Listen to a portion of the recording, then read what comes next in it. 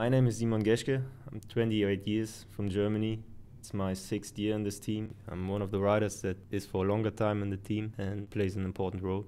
I like the atmosphere on the team. Most of the races I do, uh, we always have fun. It's not only about races, it's also the time we spend around the races. I always feel good in good company. I think I fit in this team because um, yeah, I'm I'm I'm not very old, but I'm one of the older riders. So and then the average age is, is very young.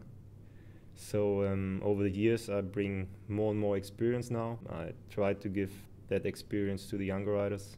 I still want to get better. You can always improve. I think that mindset, yeah, is the same with me and the team.